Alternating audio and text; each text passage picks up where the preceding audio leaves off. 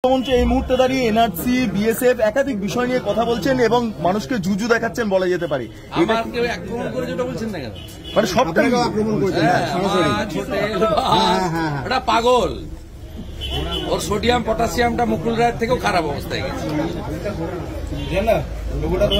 CAG report মিথ্যা বলছে দাদা ভুল।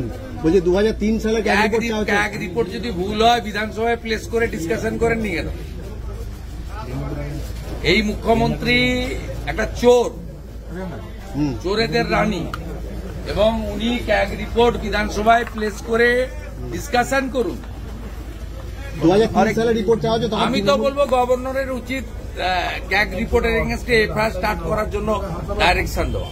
যে সদস্য ছিলেন সেই কংগ্রেসকে বিরোধিতা করছেন বলছেন ক্ষমতা থাকলে উত্তরপ্রদেশে বেনারসে গিয়ে হারিয়ে বলেছি।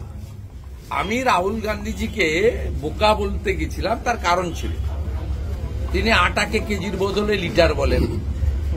কৃষকরা এয়ারপোর্টে সবজি বিক্রি করবেন বলেন।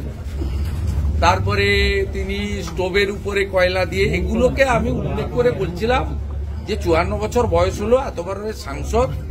এবারে ম্যাচুরিটি রাখা উচিত। এবারে চলতি কথায় আমি যেটা বোকা শব্দটা আমাদের এখানে গাঁগঞ্জে চলতি কথায় বলে ফেলেছিলাম। তাতে যদি কেউ আঘাত পান অন্য কথা। আমি কিন্তু সে উদ্দেশ্য বলিনি। কিন্তু আপনারা যে মমতা ব্যানার্জির হয়ে আহ, জয়রাম রমেশ এবং মল্লিকার্জুন খাড়গেরা মমতার কার্যত পায়ে পড়ে যান আর মনু সিংবিরা যেভাবে চোরেদের বাঁচানোর জন্য উঠে পড়ে লাগেন আজকে তো রাহুল গান্ধীকে বিড়ি খোর বলেছে। আমি আশা করব আমার বিরুদ্ধে যেমন এফআইআর করছিলেন আর মিছিল টিছিল বের করছিলেন। কাল থেকে মমতার বিরুদ্ধেও এটা করবেন। মমতা, আজকে তিনি বিডি বিড়িখোর বলেছেন।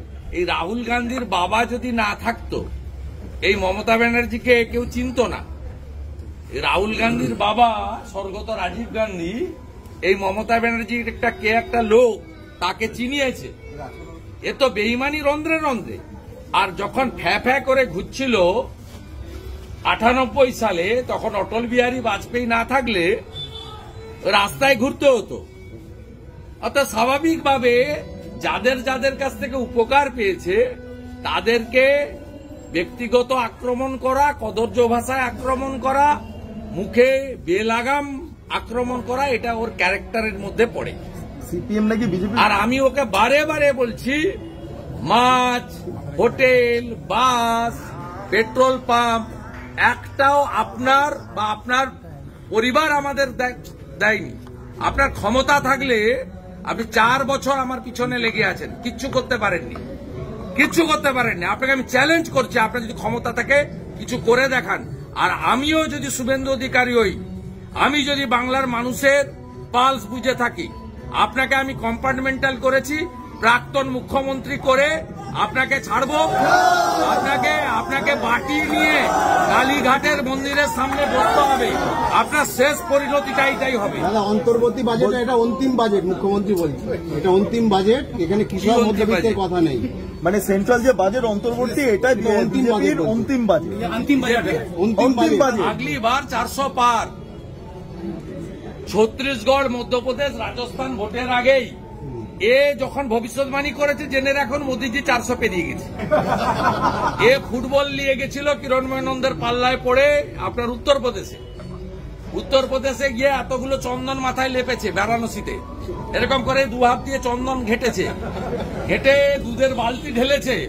দিয়ে যতগুলো সিটে প্রচার করেছে মুলায়মের ব্যাটার হয়ে সবগুলো সিটে হেরেছে।